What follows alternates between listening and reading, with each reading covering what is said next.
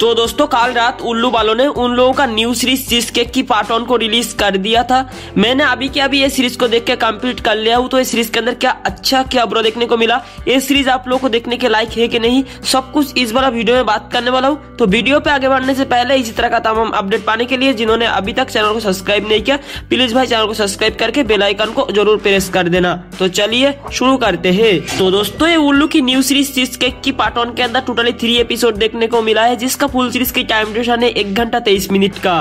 और इस सीरीज़ के अंदर पूजा सिंह के साथ निया गुप्ता और भी दो एक्ट्रेस को देखने को मिला है, तुम लोग स्क्रीन पे देख सकते हो। आप बात करते हैं सीन के मामले में तो पहले एपिसोड के अंदर निया गुप्ता और तुम लोग स्क्रीन पे देख सकते हो, इस एक्ट्रेस की सीन सस्पेंस देखने को मिला है, जो कि इतना खास नहीं है। और सेकेंड एपिसोड के अंदर पूजा सिंह और तुम लोग स्क्रीन पे देख सकते हो, इस एक्ट्रेस का सीन सस्पेंस देखने को मिला है, जो की ठीक ठाक है। लेकिन थर्ड एपिसोड को बिल्कुल ही मिस नहीं करना चाहिए, क्यूँकी थर्ड एपिसोड के अंदर पूजा सिंह का जो सीन सस्पेंस देखने को मिला है, वो भाई बहुत ही बेहतरीन है। तो जिन्होंने अभी तक इस सीरीज़ को नहीं देखा, मैं पर्सनली रिकमेंड करता हूँ पूजा सिंह के लिए ज़रूर एक बार इस सीरीज़ को उल्लू ऐप पर जाके वॉच करो। और जो भाई लोगों ने इस सीरीज़ को पहले से देख चुके हो, आपको कौन सा वर्ड अच्छा लगा है, आप कमेंट करके बता सकते हो। तो यही तक छोटा सा इन्फॉर्मेशन वीडियो वीडियो अच्छा लगे तो एक लाइक कर देना। मिलते ऐसे कोई वेब सीरीज़ की जानकारी लेके। तब तक के लिए take care tata bye bye